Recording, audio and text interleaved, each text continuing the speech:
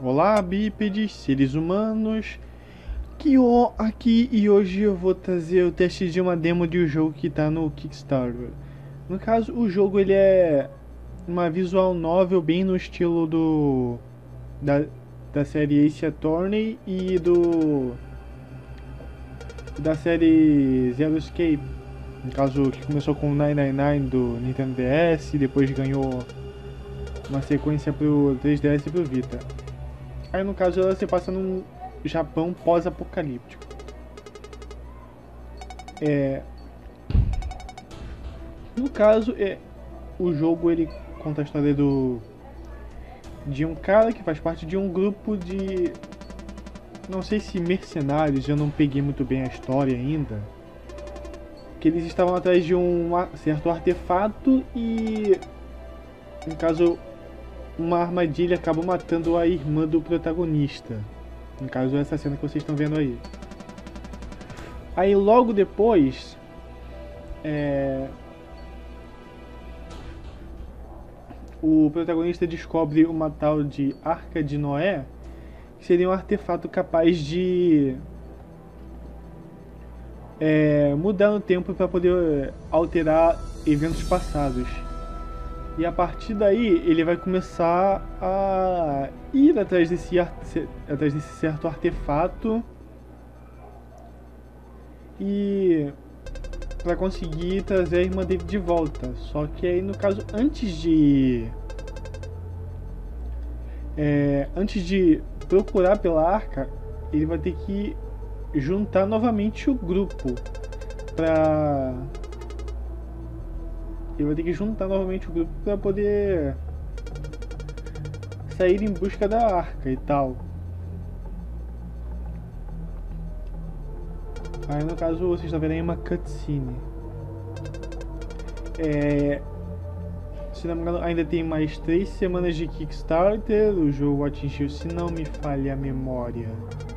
Vou dar uma olhada aqui no Kickstarter. Vou dar uma olhada aqui no Kickstarter enquanto a cena rola aí. Eu ver aqui. De acordo com. Ainda estamos no dia 28 de abril, quando eu tô, enquanto eu estou gravando isso aqui. É, aliás, o nome do jogo é, Eles atingiram um quarto do. Da meta de 32 mil dólares. Eles também estão no Green Light. E. Como eu disse, onde é que eu tava? Tava falando sobre o, o enfim, o jogo tá no Kickstarter. É, eles estão pedindo 32 mil dólares e bem, aí é o jogo tá no Kickstarter e tá também e tá tentando tentando a entrada no Steam via Greenlight. A previsão de lançamento do jogo é no último no último trimestre do ano, ou seja, entre outubro e dezembro. Na minha sincera opinião, o jogo ele tá bem legal. É, ele realmente lembra muito o Ele lembra um pouco o 999, principalmente porque é, eu sou uma praga em puzzles, então vocês vão ver aí que. Uh, enfim. Vamos aí. Ah, acendi a luz. Olha que bonitinho. No caso, isso é meio que minha segunda tentativa de gravar, porque a primeira ela meio que deu um, um baque, que eu acabei alterando tudo e fiz merda aí. É, opa, achei uma página do. Você vê. No caso, eu também. De. Zero Escape, o jogo conseguiu. Ele tem uma, a, essa narrativa mais tensa e os quebra-cabeças. O do. Esse Attorney meio que tirou essa, essa coisa de você ter. Um. Essa coisa de você ter um inventário com as suas coisas para você sempre lembrar o que você tá que você tem que fazer. Aí, ó. Uma página do negócio, uma página do diário, provavelmente diário da falecida irmã do personagem. Opa, tem uma coisinha aqui. Uma bateria. Até, aí eu explico aí que alguns itens podem ser combinados para fazer outro tipo de coisa. E aí tem um, umas coisas que eu ainda não sei para que que serve. Na porta, agora o que, que será que isso aí é uma página? Não sei se é uma página que eu tentei clicar. Pô, clico, mas aparece, vem o som da porta. Aí o código. Provavelmente eu, eu devo pegar esse martelo, só que eu preciso da quinta página pra, pra eu conseguir. Peguei um holograma aí.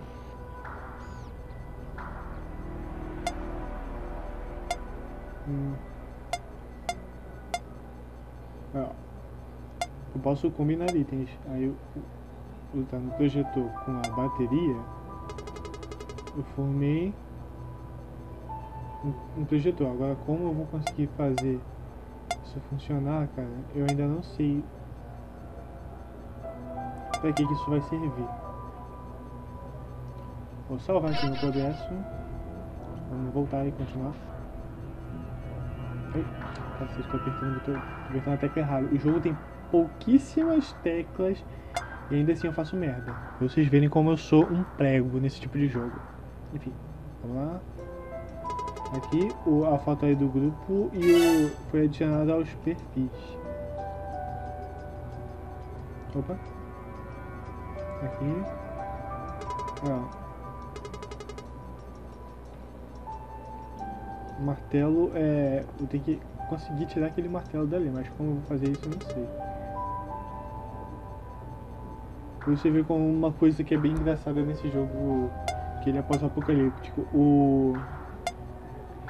A pessoa tá, tá tão acostumada a viver naquele apocalipse que quando aparece uma coisa mais antiga, ela fica meio. Ela fica meio assim, é.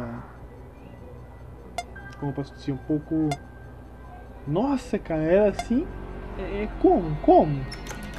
Tipo, você tá acostumado com uma certa realidade e quando vem algo que era antigo, a pessoa fica se perguntando o que é aquilo. Tipo, essa geração de moleque de hoje em dia que, que tá acostumada com celular, celulares comuns, iPods, iPhones e etc. Quando vem, por exemplo, um um caralho esse tipo de pessoa que está acostumada com o iPhone quando ela vê um caralho, como é que é? um Walkman, cara.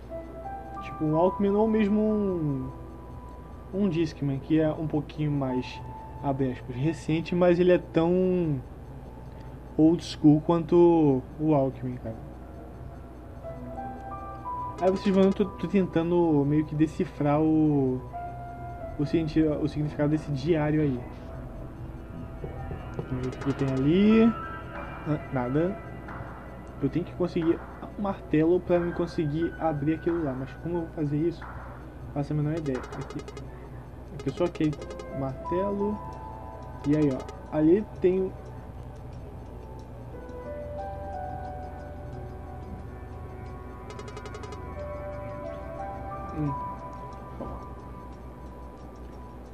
Seguindo.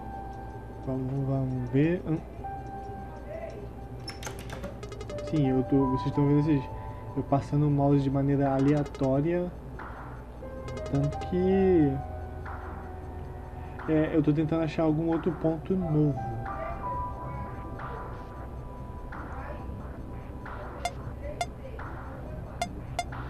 Ah, não tem nenhum item aí, sua mula, você deixou as páginas do, do diário no diário.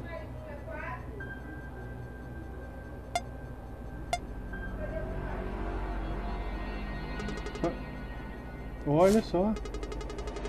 Mais uma página do diário que eu achei no...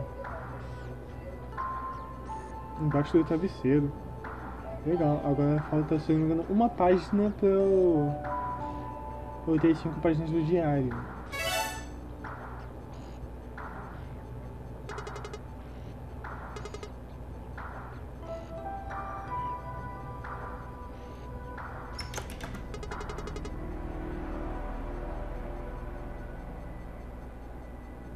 Vamos.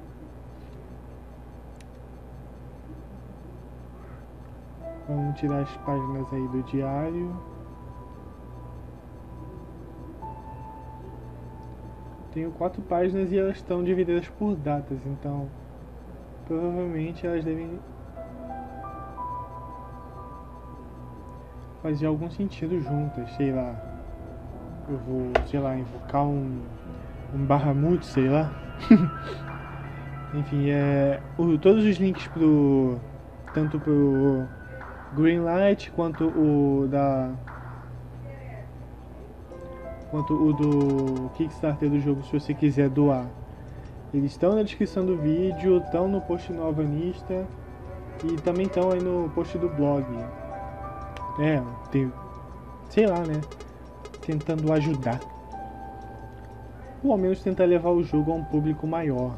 Não sei. E não não pretendo fazer uma série do jogo não pretendo fazer uma série a respeito do jogo porque eu não sou bom nesse tipo de jogo eu ficaria provavelmente horas e horas e horas parado no mesmo lugar esse vídeo ele é mais como divulgação do Kickstarter dos caras que vocês terem uma ideia do, de quanto esse projeto é promissor, cara. Até mesmo o autor do é, Zero Escape elogiou o jogo no em um papo que os desenvolvedores tiveram com ele, mostrando o jogo pro cara e tal. E o cara falou, olha, o jogo tá maneiro e tal. E tipo, isso vindo de um cara que criou tipo um puta jogo feito 999 e o Zero Escape, cara, isso é um elogio em tanto. É como se, por exemplo, sei lá, cara. Tipo, o Obama te desse os parabéns por ser um. Sei lá, um prefeito honesto, entende? Enfim, é, eu vou ficando por aqui, eu vou, daqui a pouco eu vou salvar meu progresso já já. E quem curtiu o vídeo pode dar o joinha e compartilhar tal. Sei lá, fazer alguma coisa, comentar. Pode até me mandar pra puta que pariu se me achar chato, enfim. Façam a sua até a próxima, bípedes. Fui. Pegadinha do malandro! Brincadeira, enfim, eu, vou continuar jogando mais um pouquinho, vou tentando, né, jogar mais um pouquinho, porque ou vocês vão ver aí fazendo um monte de besteira e tal, porque eu esqueci que eu gravei esse 18 minutos ao invés de 12 desse vídeo. Porra, cara, sério, às vezes eu. Eu acho que sou meio idiota. Às vezes não, sempre, mas enfim. É... E eu esqueci até nesses minutos que de falar o nome do jogo. O nome do jogo é Exogenesis, Perils of Rebirth. Hum, não, não ficou muito boa a dicção, vamos repetir. É Exogenesis, Perils of Rebirth. Cara, meu inglês é péssimo. mas enfim como eu disse, é, é o, o Exogenesis é uma criação do de uns é, de uns, caras das Filipinas, provavelmente fãs de visual novels.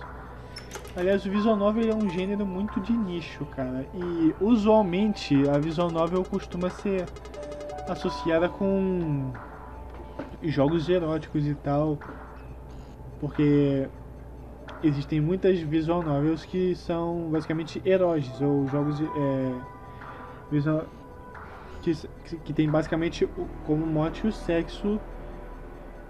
Mas tem outras muitas outras visual novels boas que não são é, necessariamente eróticas. Entende? É, por exemplo, um bom exemplo de uma eroge que de uma visual novel erótica é Katawa Shoujo, que é, é um jogo que me fez chorar e tal, um certo ponto do jogo. E tudo mais. É... Eu tô verificando aí o perfil dos caras aí.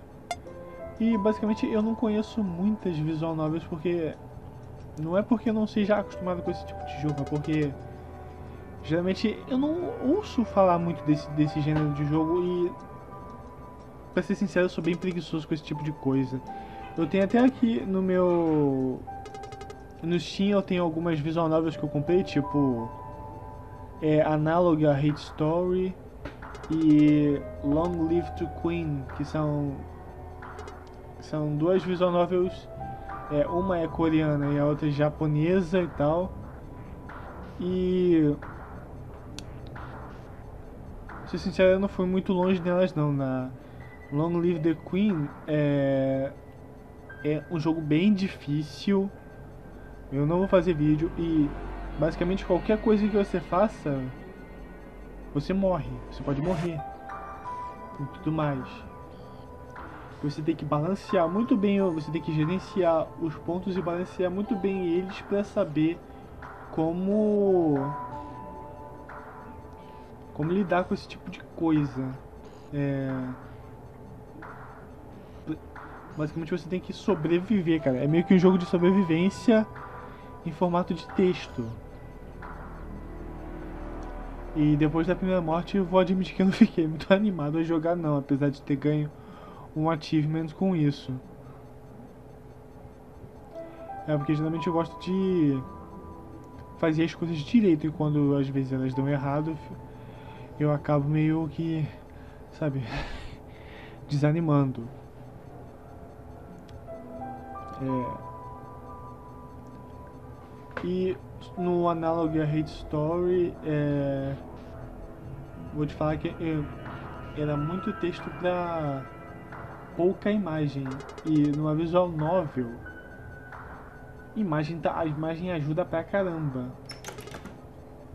E no Analog você tem muito, muito e muito texto ele acaba te cansando antes que o jogo fique interessante, entende? É...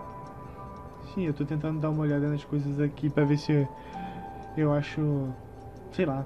Enfim, meu caminho. Mas como eu ia dizendo sobre o Analog, é. Ele tem muito texto, muito texto mesmo, e com pouca imagem, ele acaba meio que cansando o jogador, entende? É, agora sim, último sal, último save, eu vou ficando por aqui. Até a próxima, galera. Fui!